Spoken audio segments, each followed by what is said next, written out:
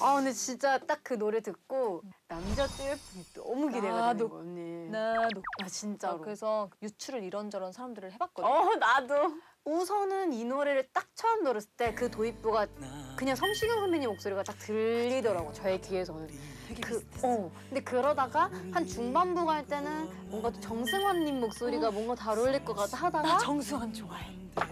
너도 좋아하니? 어떻게 같이 가?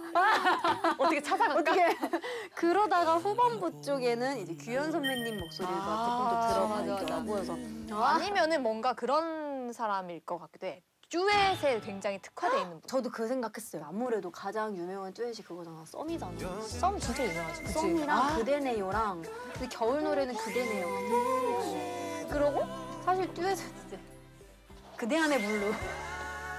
거기까지 가야 어, 거야? 거기까지 가. 썸 그다음에 그대네요. 그대 안의 블루.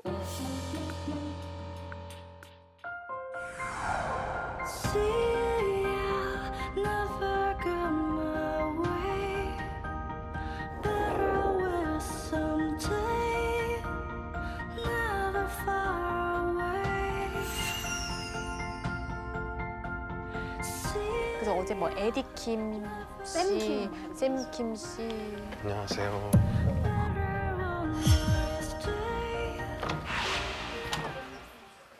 안녕하세요. 안녕하세요. 아, 아, 저 마스크를 아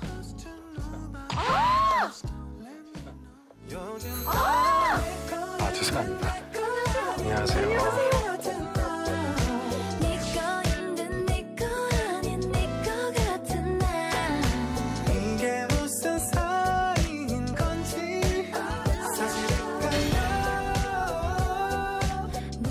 어우, 깜짝 놀랐어요. 워낙 이제 또 듀엣으로 유명하셨던 분이니까 오 이분이 오셨네라고 굉장히 약간 기쁘면서도 놀램.